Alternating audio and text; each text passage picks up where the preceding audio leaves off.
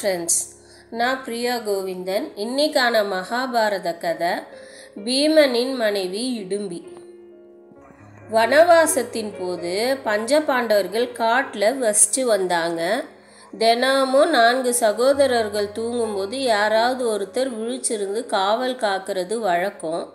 அப்படி ஒரு நாள் இரவு பஞ்சபாண்டவர்கள் தூங்கிட்டு இருக்கப்ப பீமன் விழிச்சிருந்து காவல் காத்துக்கிட்டு இருந்தாரு.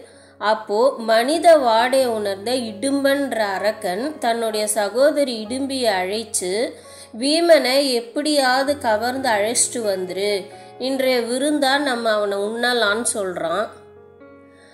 உடனே அந்த இடும்பின்ற அரக்கி ஒரு அழகிய தேவத உருவத்தை எடுக்கிறா. எடுத்துட்டு மாறு அணிஞ்சு பீமனை சந்தித்த இடும்பி பார்த்தவுடன் பீமன் மீது காதல் கொள்கிறாள்.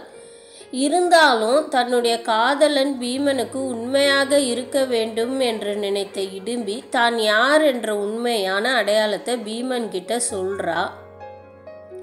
வலிமைக்கு பலத்துக்கு பெயர் பெற்ற பீமன் இடும்பனை மன்னிக்க மறுத்துடுறான்.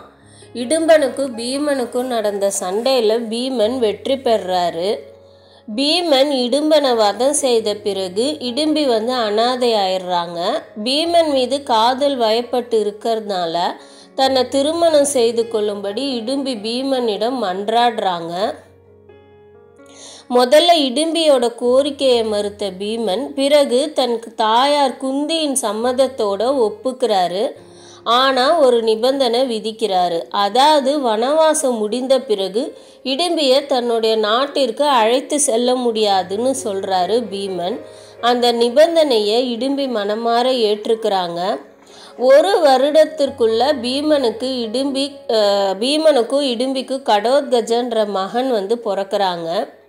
இடும்பியால் காட்டில் வளர்க்கப்பட்ட கடோத்கஜன் தான் பின்னர் குருஷேத்திர போரில் தன் தந்தை பீமனுக்கு பக்கபலமாக இருந்து பாண்டவர்கள் கௌரவர்களை வெற்றி கொள்ள ஒரு முக்கிய பங்கு வகிக்கிறாரு.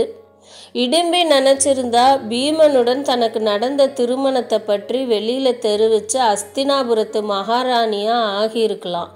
ஆனால் அவள் காட்டில் வசிக்கிறதையே விரும்பி ஏற்றிக்கொண்டு தன் மகன் கடோத்கஜனை தனி ஒரு பெண்ணாக மிக சிறந்த வீரனாகவும் நேர்மையாளனாகவும் கிருஷ்ண பக்தனாகவும் வளர்க்குறாங்க. இது ஒரு சாதாரண தியாகம் அல்ல. திருமணமான பெண்ணாக இருந்தும். அவள் கணவன் விதித்த நிபந்தனைக்கு கட்டுப்பட்டு தனி ஒரு பெண்ணாக வாழ்ந்து முடிக்கிறாங்க. இருந்தாலும் மற்றொரு புராண கதையில் இடும்பி தவம் செய்கிறதுக்காகவே காட்டில் தனியாக வசித்தாங்கன்னு சொல்கிறாங்க